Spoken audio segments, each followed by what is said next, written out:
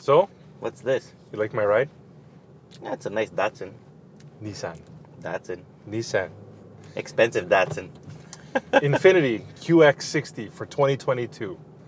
This has the 3.5 liter V6 naturally aspirated engine. It produces 297 horsepower, and you have to tell me how much torque it does. Let me tell you how much this car costs, because I'm sure you don't remember. Yes, I do. It Tell 64,995 as equipped. This is This trim, okay? this trim itself. I forgot the, the name of it. sensory, sensory all-wheel drive. I was gonna call it the Sensate, but sure, yes, a sensory all-wheel drive standard. Sensei all-wheel drive. Should we just call it the Johnny Lawrence instead of Sensei? The Johnny Lawrence. Let's make it cool. Let's make it badass. Because it has no hope of being badass. This is not a badass car like Johnny. So nice. Come on. So prices for the redesigned 2022 QX60 start at $54,995. Note in Canada, they're all all-wheel drive. In the States, you can get them front-wheel drive, but here, all of them standard intelligent all-wheel drive. The top of the line is the Autograph model. It costs $67,995. And why did they have to call it Autograph? Are they like jealous of Range Rover with the autobiography? Maybe it had to do with the the quilt dash that they kind of. I don't know, I but don't know. I wouldn't want an autograph from a Datsun. Not cool enough. You're gonna go back to that rap song. It's like, you just want to go back to his Datsun or Watson. No. Help. One day, you're gonna be cool. Okay, listen. So it looks really nice. All right, like it's actually a really sleek looking car. All right, LED headlights in the front are nice and sharp, very well defined and elegant. Same with the rear. It's got like a not a strip, but it's very nicely defined rear end. You know what? I actually do like the car. I like the grill. I like the chrome stuff on the front. I like the chrome stuff on the side. That's the what I was gonna Infiniti, the em- embroidered, embedded, whatever you want to call it. That's the thing that stands out with me. Embossed. Embossed, yes, and the chrome, right? It Mhm. says Infiniti in chrome, so it actually gives you that feeling of status. Like you walk up to the car, and you see this nice chrome-plated Infiniti luxury. I have two objections though regarding the looks. The first, that chrome thing on the sides of the bumpers that looks like an exhaust pipe. On the sides, you mean such on the, a fail. The bottom sides of the yeah? edges. Well, it's not even exhaust, so I don't even know the purpose of that. That's put there, Such but a freaking fail. I don't know. I don't prefer when I see that. That's something I'd rather avoid and just have a bumper if you're gonna do it. What's the point? And here's the second thing.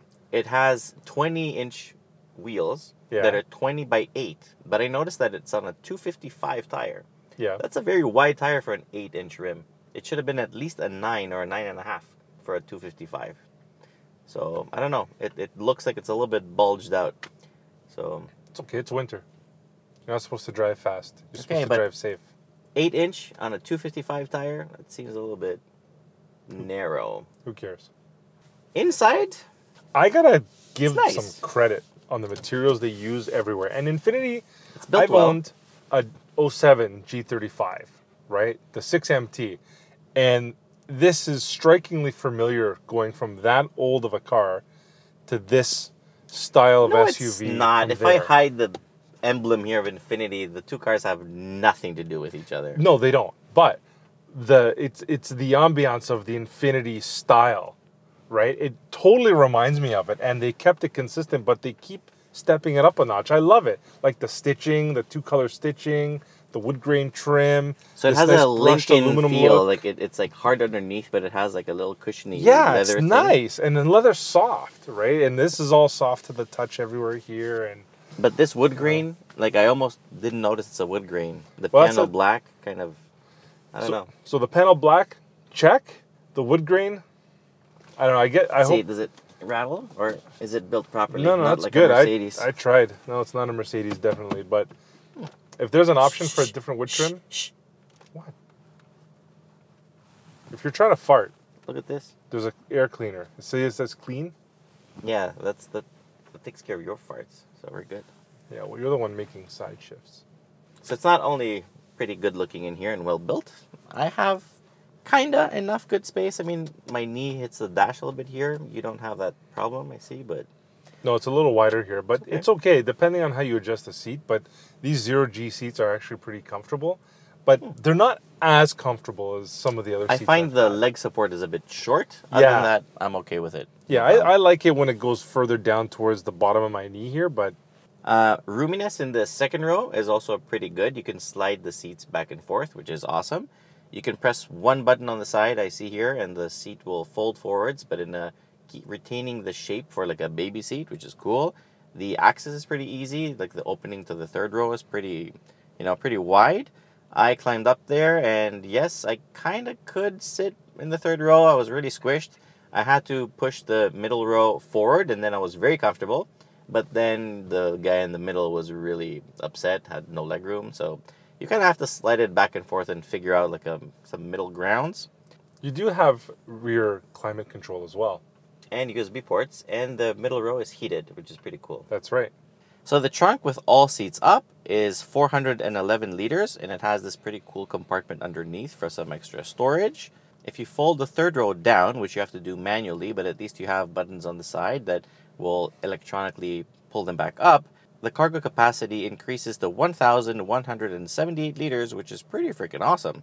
The first thing I noticed when I got in, screen, screen, nice forced feedback, uh, the adjustable components in the dash. Now, Forced feedback? yeah, like you touch it, go bzz, Oh, haptic feedback. whatever.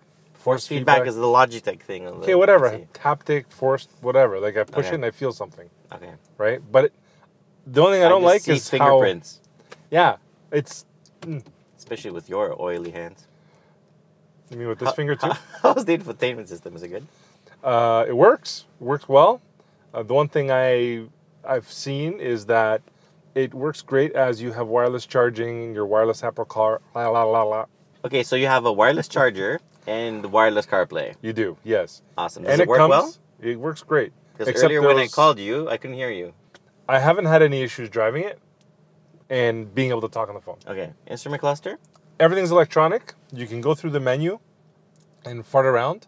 So you can adjust all of your uh, steering assist. You can see information about your all-wheel drive. It tells you about your fuel economy. It's got everything all in one spot there. Nice and clear graphics. Yep, Not very bad. sharp. Okay, so overall pretty okay for the category. Yep. I hear rumors that this button over here makes the seat give you a massage. Yes. And you can even adjust the kind of massage as well. Really? Yep. Does it have like a happy ending? so what uh what makes this move here? What's under the hood? Very good question, Jason. I'm glad you asked because You're welcome. under the hood is a 3.5 liter naturally aspirated six cylinder. Uh, it produces 297 horsepower. And hold on, I'm gonna tell you the torque Right. as usual. And 270 pound feet of torque. Nine speed automatic transmission, not CVT, which is a very good thing. You don't get the whininess, which is fantastic. All right, let's uh, test the zero to 100 kilometers an hour. Move over. Pedal to the metal. Zero to 100 kilometers an hour comes in 7.9 seconds. That's not too bad. That's okay. It's not fat. And the brakes, the brakes feel good. It has uh, dual piston front calipers. It is a floating caliper. Uh, it stopped from 100 kilometers an hour in 43 meters. It's on winter, Winter tires. tires, which is not bad at all. And just for the record, the front rotors are 350 millimeters and the rears are 330. So pretty decent brake system on this car. Rum. Does it makes like pretty decent sound? It's V6. It's a A Nissan familiar V6. Nissan. Nissan V6 never lets you down. But this one has a better motor than the Pathfinder, which this car is obviously related to. So this one runs on premium fuel, which you're going to tell us how much of it it needs. And it also makes uh, a little bit more power and more torque than the Pathfinder. So what's the fuel economy now? Because with gas prices the way they're going, it's uh, really important now. It's decent. It's 12 and a half liters per 100 kilometers. That's pretty. And that's a mix of good. highway and city. Yeah. I live right in the city, so it's not too bad. Um, it's very drivable daily and it won't, well, I was going to say it won't kill your pocket, but Who knows how much you drive though? But yeah, it's it's for the size and weight and power, it's reasonable. totally. So I've noticed that as we're driving around, it's not uncomfortable, but it's not the most comfortable ride on the planet. It's Listen. somewhere in between. Japanese cars are about balance, Daniel-san. balance. balance. Okay? Okay. You can't have performance without sacrificing just a little bit of comfort. And that's what it is. It But- does sacrifice a bit of comfort. So before you sell me on that, can you take that upcoming turn at a little bit, you know, not too fast, don't kill us, but prove to me that it handles well enough that, you know, like this, I should be feeling freaking bumps. Ooh, I felt the back kind of try to swing out. That's pretty cool. it's pretty sneaky. Okay, so it's comfort is good, but it's not exceptional because does it handle really well? It handles great. It's really precise and crisp. Hmm. Precise and crisp. I like that. Yes. So, do you think compared to like an MDX with a super handling all-wheel drive, this is at least the same good or better? Or I mean, I I've driven it a little bit. I can tell you right away that it's much better than a Lexus, like for sure, hands down. Um, I don't know I compared think to an Acura. I, I think it really comes down to preference, right? This is the type of car I prefer to drive. Um, I like it better. It doesn't feel very sporty though. It, it kind of sets up the mood for a nice, Ah. cozy ride though. Well, so the seats aren't exactly hugging you, right? I mean, there's the the zero, Zero G gravity. seats are yeah. they're for comfort, right? And they feel really nice too. It, it is comfortable. So, handling very Oh. good. Um, a little bit playful at the limit, as we noticed when you took that turn. Yep. Steering feels great. Brake pedal feels great.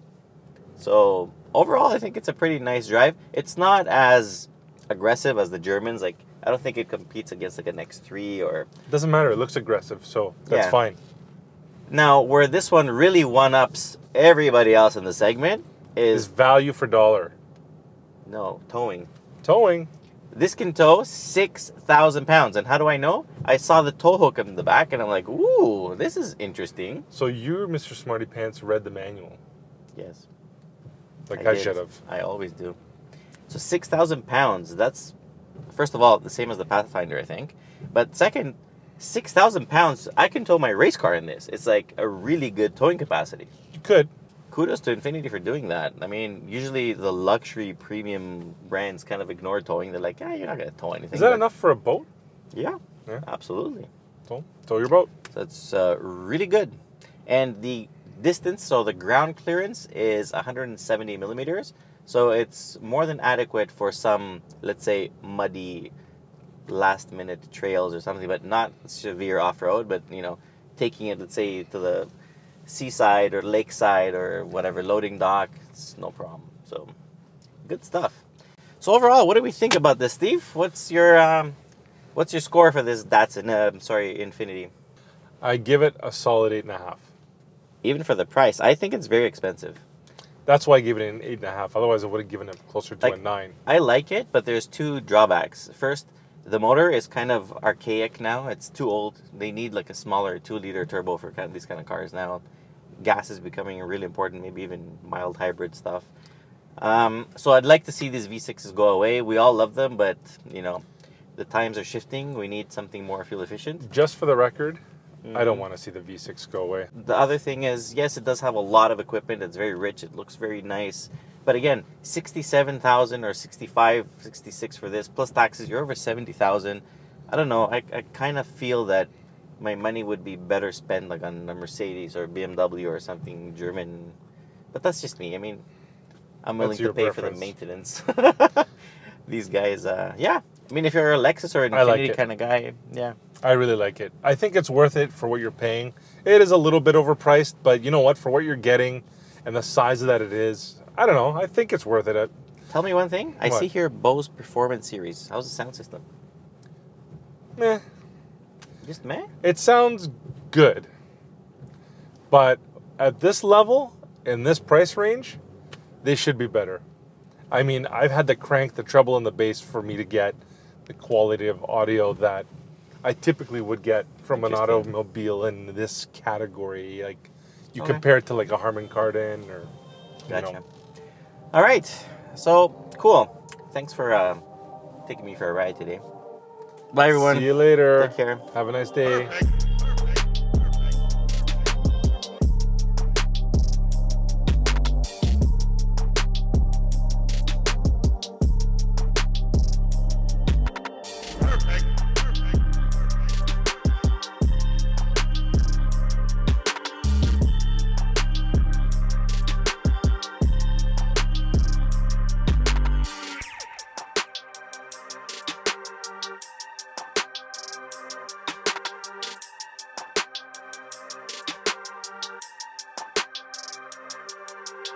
Perfect.